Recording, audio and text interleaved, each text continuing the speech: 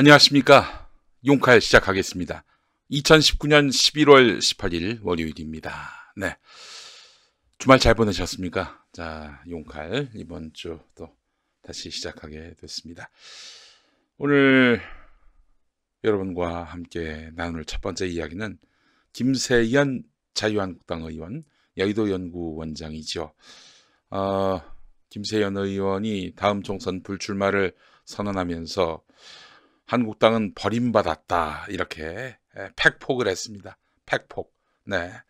김세연 의원이 왜 이런 말을 했는지, 그리고 자유한국당의 실상은 어떠한지 이 이야기를 잠시 후에 다뤄보도록 하겠습니다. 오늘 아침에도 많은 분들 함께하고 계십니다. 진심으로 환영하고요. 자, 여러분, 김용민의 새 책, 혐오를 혐오하다. 다시 홍보하게 됐습니다. 3쇄. 좋은 책이에요. 어, 떤 목사님이 올리신 음, 서평이 있는데요. 이 목사님은 김용민이를 굉장히 이상한 사람으로 봤습니다. 순화된 표현으로 이상한 사람이라고 봤지 실상은 이제 쓰레기로 본 건데 제 책을 읽으시고 이런 말씀을 쓰셨습니다. 예. 그는 철저히 인간 존중에서 비롯된 피오름을 쏟아낸다. 그 어느 기성교회 목회자를 보다 성경 및 현장에 대한 바른 인식 그리고 해석이 있다고 본다. 마치 구약 시대 때 선지자 중 한 사람을 보는 것 같다. 아이고 세상에 이렇게까지 말씀하십니다. 네. 아, 너무 과찬이고요. 예. 저는 이런 삶을 전혀 지향하지 않습니다. 무슨 선지자 전혀 지향하지도 않고요. 저보다 훌륭한 목사님들 또 전도사님들 많이 계신데 아 이런 얘기 듣는 건 예, 과찬이에요. 정말 과찬입니다. 조금 더 보태지 않고 과찬입니다. 그러나 또 이 책을 이렇게 봐주시고 어, 이 책의 내용을 적극적으로 또 이해해 주시려고 하는 이런 목사님께 너무 감사한 마음으로 제가 오늘 서평을 인용했습니다. 김용민이가 이제 뭐 그런 삶을 살아온 사람은 아닙니다. 뭐 무슨 선지자로 평가받고 싶거나 혹은 뭐 전혀 그런 건 아닌데 여간 이 책을 읽고 또 그렇게 평가를 해주시니 제가 얼마나 몸둘 바를 아, 모르겠습니다. 이 큰 몸인데 어떻게 몸둘 바를 모르겠어요. 네. 너무 감사하고요. 여러분, 혐오를 혐오하다. 한번 읽어봐 주시면 어떨까요? 김용민은 잊어버리시고요. 김용민이 했던 이야기가 우리 사회 공동체성을 얼마나 훼손하고 있는지. 여러분, 저는 총선 이후, 대선 이후의 세상을 바라봅니다. 만약에 자유한국당이 폭망을 했을 경우, 그래서 그들이 극소수로 몰릴 경우, 그들은 죽을까요? 사라질까요? 아닙니다. 더 독한 혐오의 언어를 쏟아내면서 어, 이 시대를 혼탁시킬 것이 너무나 분명합니다. 그렇기 때문에 우리가 혐오를 혐오하는 음, 혐오를 혐오하는 그런 생각으로 어, 떤 합일점을 찾지 않는다면은 또 이들은 또 더 아주 무섭게 또 아주 어, 더 어, 지랄맞게 결집할 것입니다. 혐오로 말이죠. 자, 그래서 여러분 어, 이 책을 한번 읽어보게 하시면 어떨까요? 뭐 어렵다는 분들은 또 어렵지만 쉽다고 어, 또 하는 분들도 많습니다. 쉽게 읽힌다는 말씀이죠.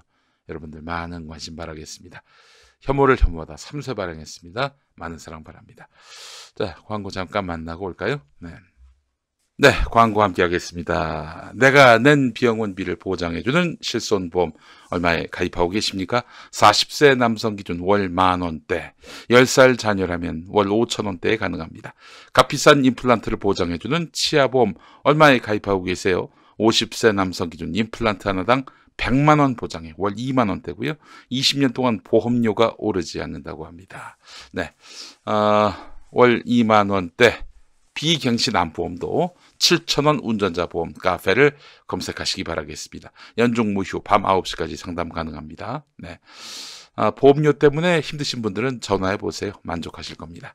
016-360-0689 016-360-0689 그리고 02849-9730 02849-9730번이 되겠습니다.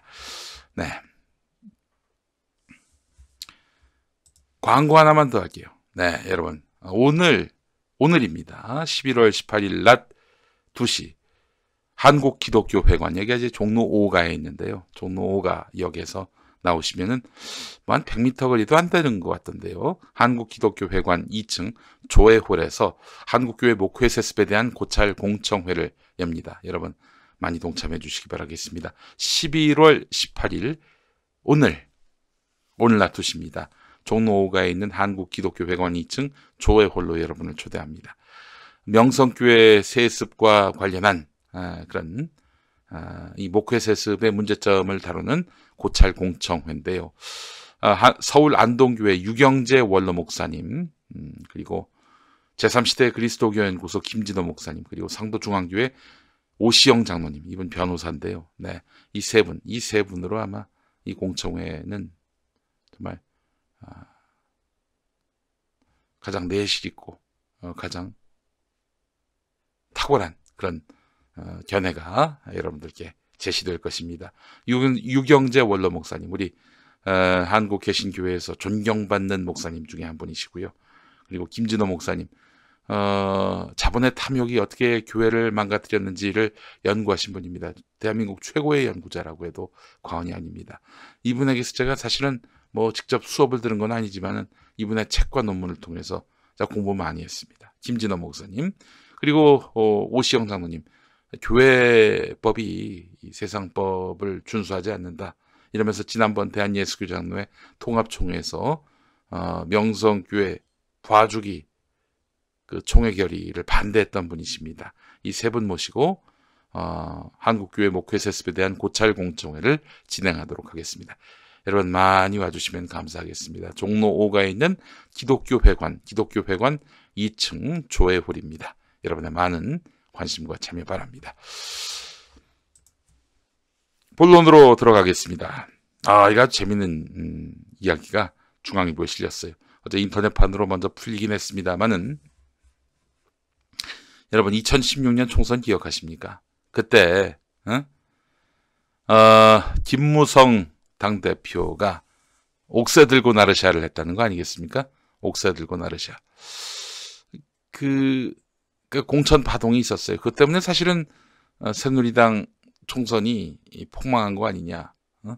150석 이상 됐던 의석이 더불어민주당보다 한 석 모자란 음, 의석으로 쪼그라들었습니다. 예. 뭐 총선에서 참패를 한 거죠. 완패를 했다고 해도 과언이 아닙니다. 네. 자, 근데 당시에 그 새누리당 총선을 폭망하게 만들었던 그런 원인이 뭐겠어요? 이미 그 법적 판단까지 다 끝난 박근혜의 공천 개입, 박근혜의 공천 개입이었습니다. 네. 어, 김무성 음, 대표가 지금 이 국면에서 지금 이 국면에서 2016년 박근혜가 만든 살생부는 사실이다. 이렇게 폭로를 했습니다. 이게 무슨 얘기냐면요.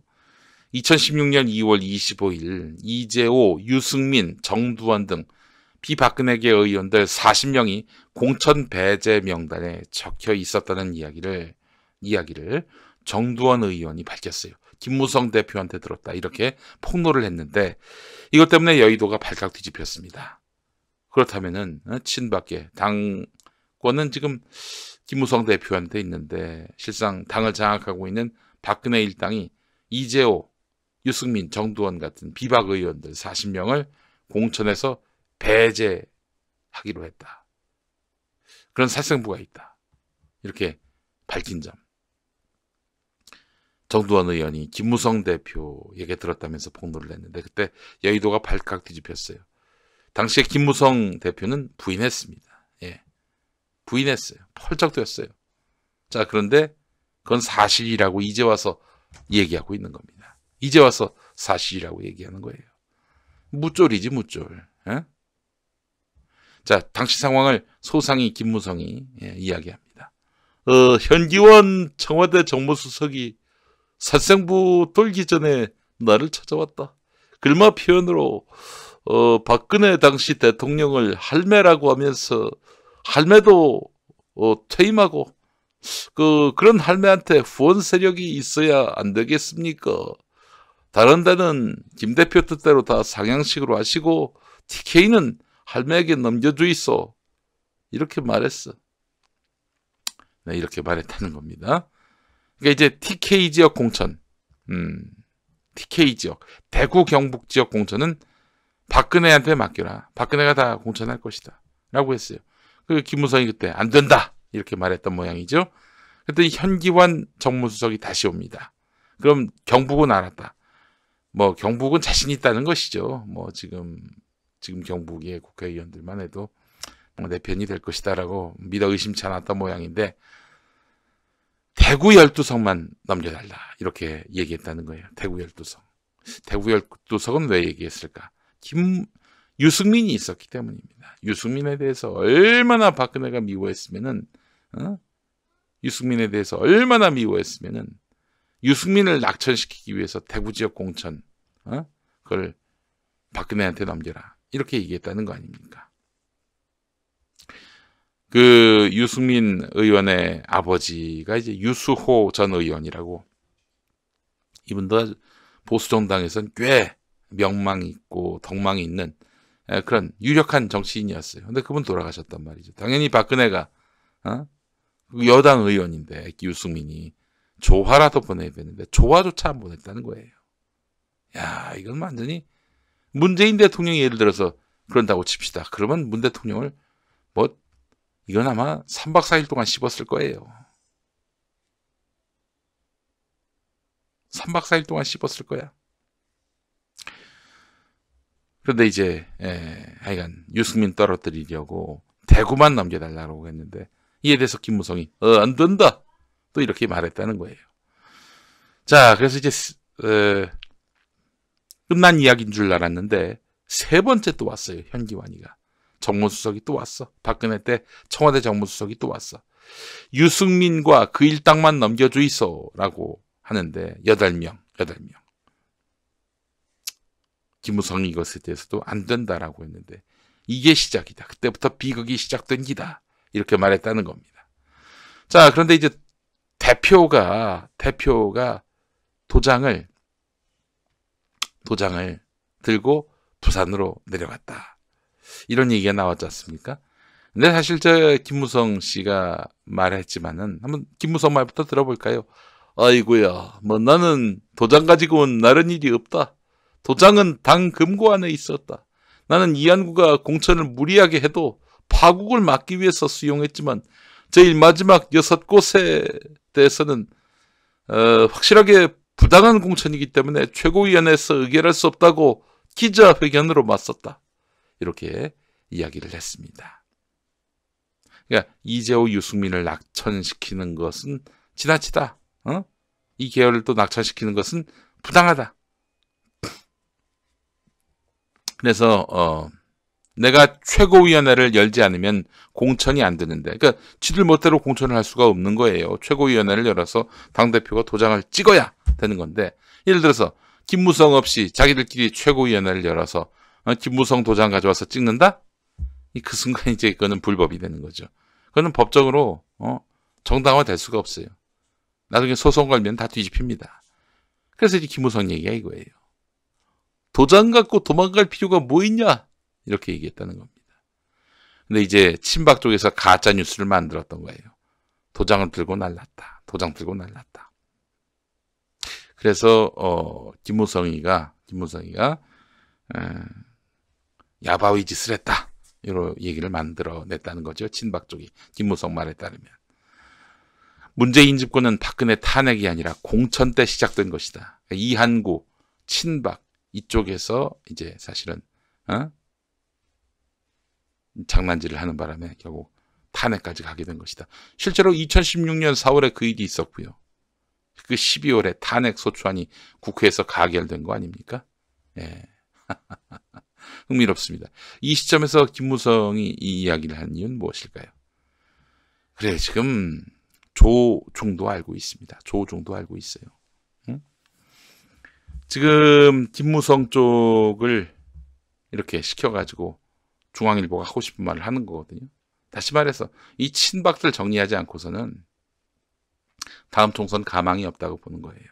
얘네들도 알고 있습니다. 조중도 알고 있어요. 말은 문재인 씹어가지고 저기 조원진이하고 어? 이쪽이 다 한편인 것 같지만요. 달라요. 조선일보나 중앙일보는 비박 반박입니다.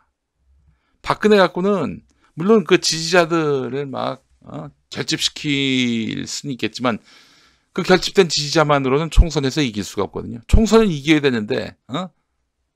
그래서 어떡합니까? 이 친박을 이제 코너로 몰아야 될 필요가 있어요. 김무성 쪽에 힘을 실어주고요. 유승민과 합리적 자유한국당 세력이 합쳐지는 이런 수순밖에는 달리 방법이 없는 것이죠. 잠시 후에 소개할 김세연 발언, 김세연 발언. 이것에 대해서 조선일보가 하나도 틀린 말이 없다라고 오늘 사설을 실었어요. 하나도 틀린 말이 없다라고 사설을 실었습니다. 뭘 의미하겠어요? 김세연 주장이 우리 주장이다 이런 얘기 아닙니까? 그리고 오늘 중앙일보는 무조래, 무조래 이런 아, 폭로를 또 실었어요. 뭘 의미합니까? 얘 친박은 찌그러져라. 친박 갖고는 희망 없다. 가망 없다. 친박 갖고 희망이고 가망이 있을 것 같으면야, 음, 뭐 앞장서서 어? 박근혜를 다시 정치판으로 끌어들이려 하겠죠. 지금 이들은 노골적으로 박근혜를 비난하지 않지만 친박은 용도 폐기됐다. 더 이상 어, 총선 전국에서 모습을 감춰라. 이러고 있는 상황인 겁니다.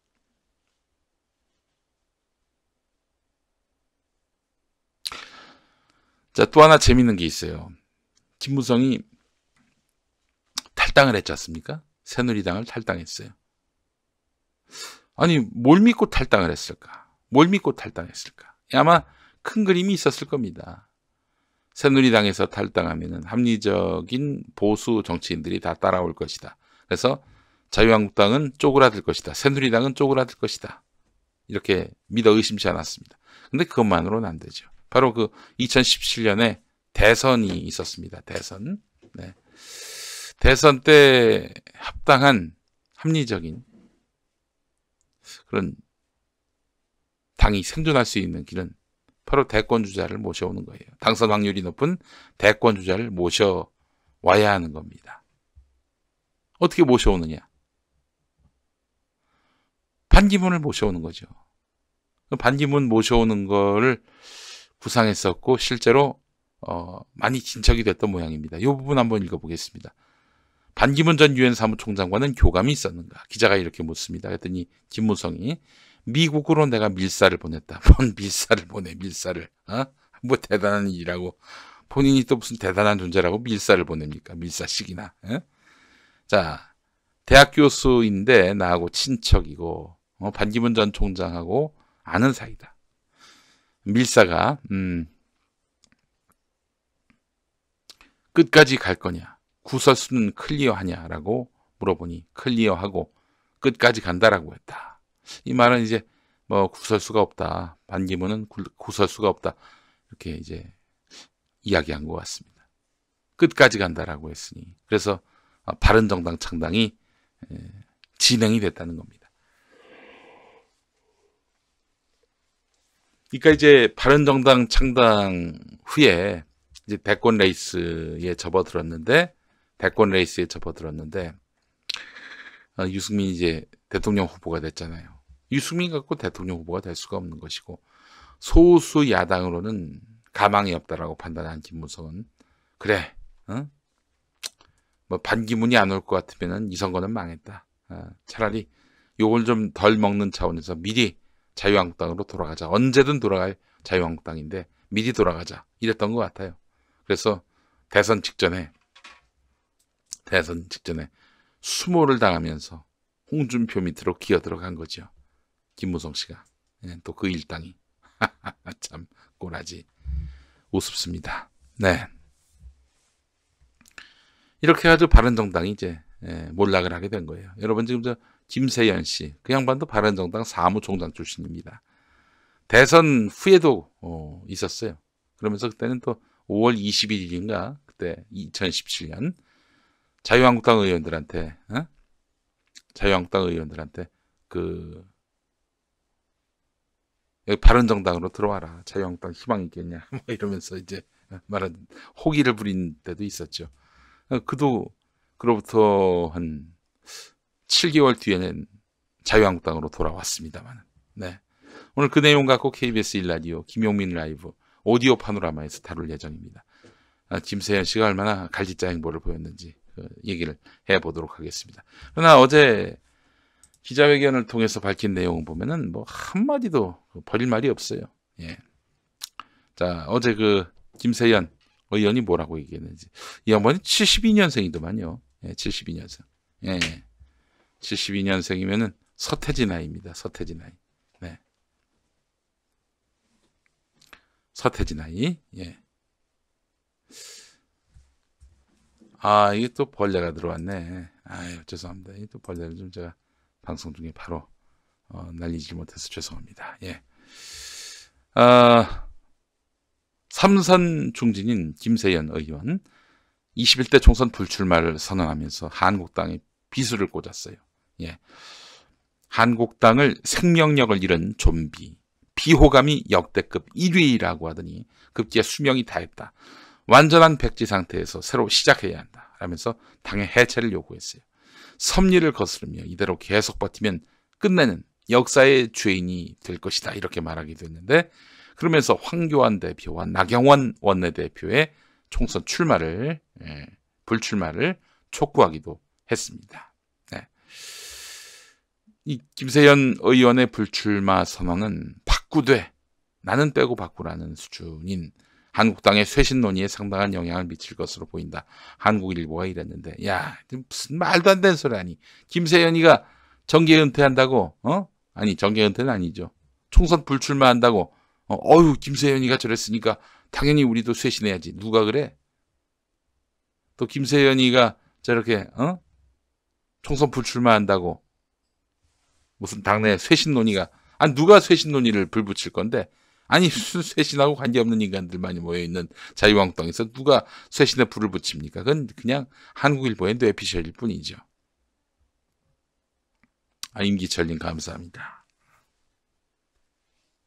고맙습니다.